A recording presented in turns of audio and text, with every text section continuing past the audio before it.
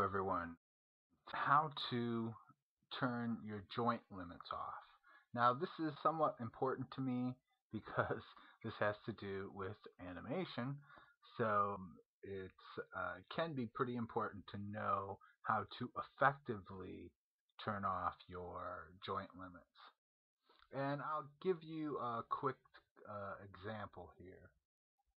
Genesis and have some meditate animations. If you look on the right side, you can see these are different poses.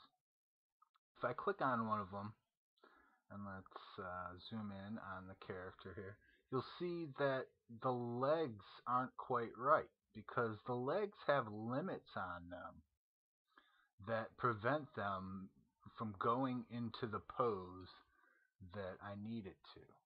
There's a number of different settings you can play with and different uh, things in different spots that say that they turn off limits, but a lot of people have trouble with those.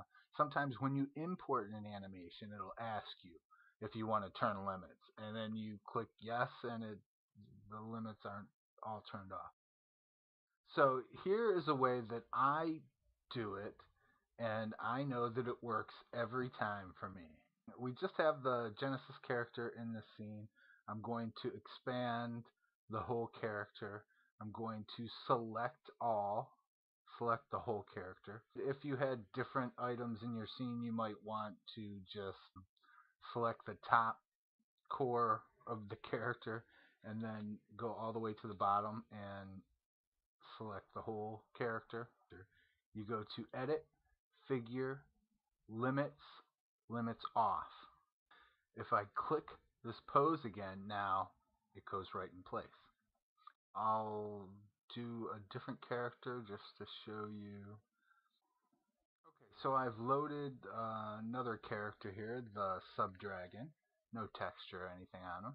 I want to show you a, another instance of this problem.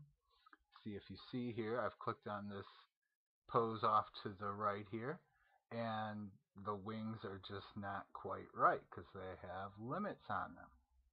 Okay, so we want to do the same thing.